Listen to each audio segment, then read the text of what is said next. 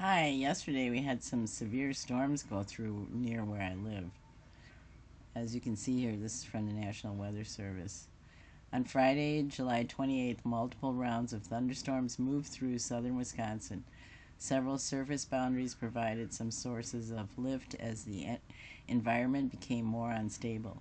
Initially, supercells producing large hail around 2 inches in diameter and heavy rain impacted the area before a surging line of storms moved in from the northwest.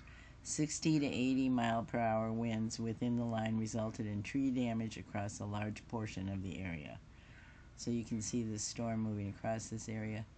The funny thing is, is that it kind of went around where I live, so we got some heavy rain, but here is um, some of the damage that's reported on this website and you can see where the photos are from on here so I give credit to all that.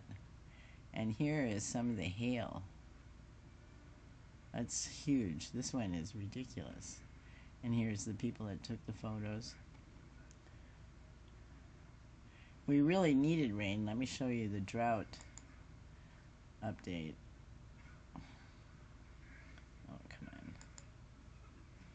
So um, this was updated on 727 as of July 25th. Extreme drought returned across much of Sauk, northern Iowa, and northwest Dane counties.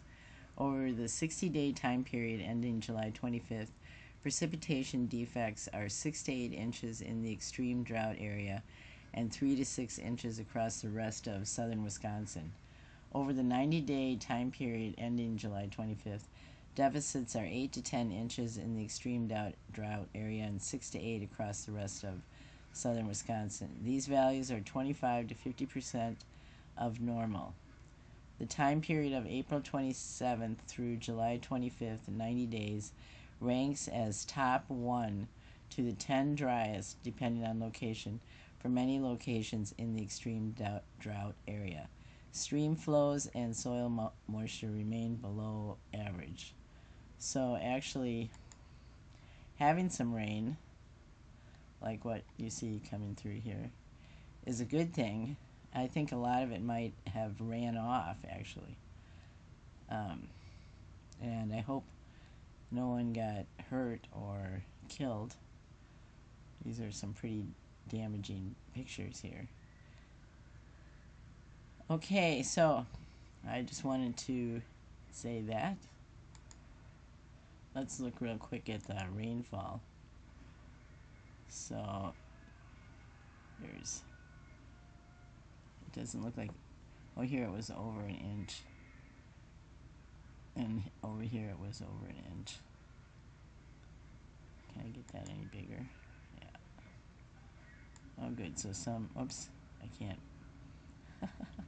some areas got over an inch. Great, that's fantastic. Actually, it looks like most of them are almost an inch. Here, 2.51. Wow, excellent. So this is the National Weather Service homepage. These are all alerts. These are heat warnings down here. There's some flooding up here. And what is that? Pink. Red flag, which is fire warning. And then these gray are air quality and there's storms going through down here and over here still. But no alerts in my area right at the moment. I just want to say the National Weather Service has some really great information if people are looking for it. These forecast maps, you can click on that. The satellite I find interesting. Air quality.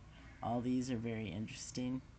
And then they talk about up here, dangerous heat continues with some relief arriving Sunday. Fire weather concerns for the west continue. So um, you can get a lot of information off the National Weather Service. So as far as information, this is good, but I just want to show you a difference. I'm going to go on the radar site here. Okay, I just want to show you what the radar looks like through the National Weather Service. These are storms happening in St. Louis. Okay, and then these up here. And then let me show you one more site. And that is the College of DuPage.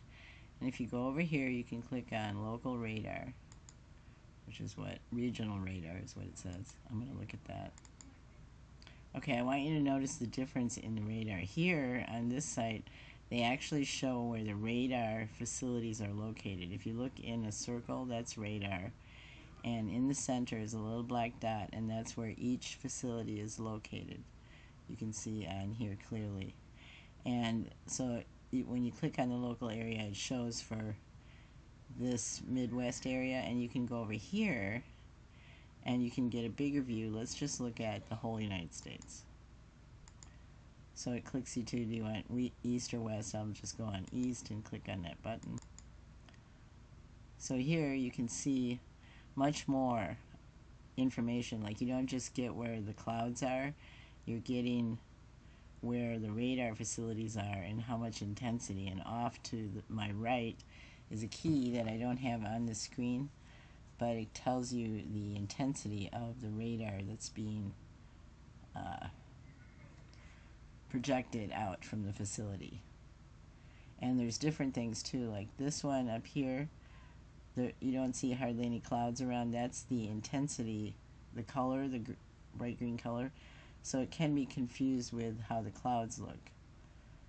But if you want a better view of what's actually happening with the radar, I think um, College of DuPage does that. See once again the comparison to National Weather Service. So, uh, this has lots of information. College of DuPage has a lot of other information. Okay, grateful for you and hear your